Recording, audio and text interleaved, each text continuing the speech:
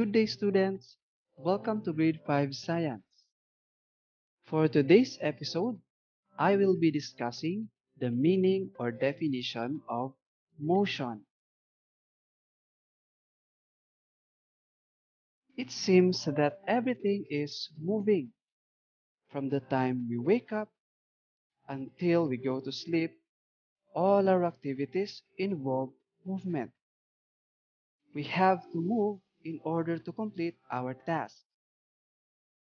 Life without motion would surely be dull and boring. Motion will always be a part of our daily lives, for it is motion that makes us fully alive as humans. How can you tell if someone is in motion? Motion may be defined as movement of an object brought about by force. They are tension, friction, electrical force, magnetic force, gravitational force, and normal force. When there is movement, there is motion. There can be no motion without a force or set of forces. Forces, therefore, initiate and influence motion.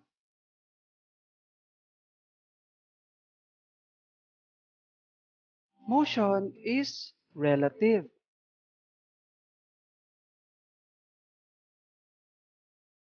Consider the passengers in a moving car. The passengers inside the car do not consider themselves moving because they are just sitting in the car. However, the people standing outside consider them moving because the car is changing its position from one point to another point.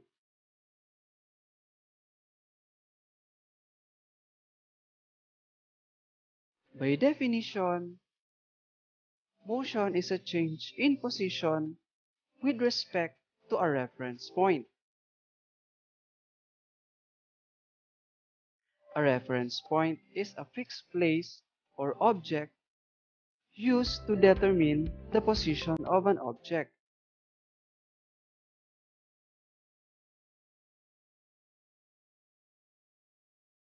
If the reference point is the ground outside the car, the passengers are moving.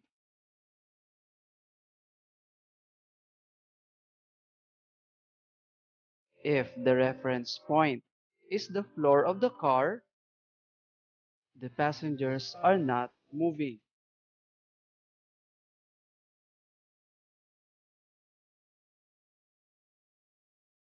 Compare the pictures on the left.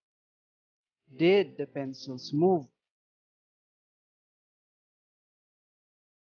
If the reference point is the pile of books, the pencil changed its position. However, if the reference point is the pen holder, the pencils did not change position for they are still inside the pen holder. The examples about the car passengers and the pencils show how relative motion is. It all depends on the reference point. Now you know. Motion is a change in position with respect to a reference point. A reference point is important in understanding motion because it serves as a basis for which the movement of an object can be related to. Through a reference point, one can tell whether an object has moved or not.